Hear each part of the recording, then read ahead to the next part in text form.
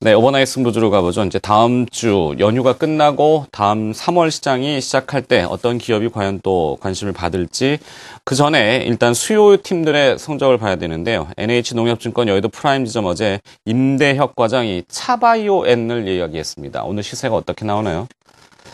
1.89% 상승이군요.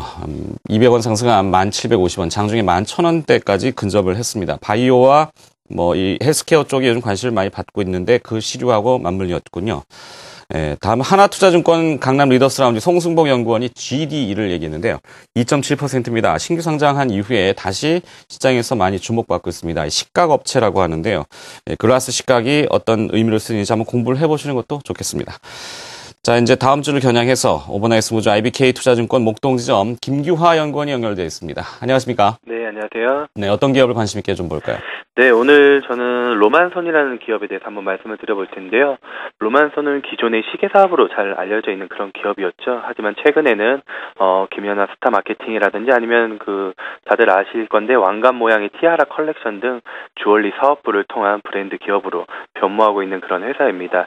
최근 내수 경기 불황에 따른 백화점 판매 부진 우려감으로 인해서 고점 대비해서 약 40% 주가가 하락을 하는 그런 모습을 보였었는데 어, 캐시카우 주얼리 사업부에 이어서 지난해 흑자 전환에 성공한 핸드백 사업부는 2013년 신규 점포 출점을 통해서 외형 성장과 함께 실적 개선을 이끌 그런 전망이기 때문에 이러한 주가 하락은 조금 과도하지 않았나 어, 그런 생각을 해 볼 수가 있을 것 같습니다.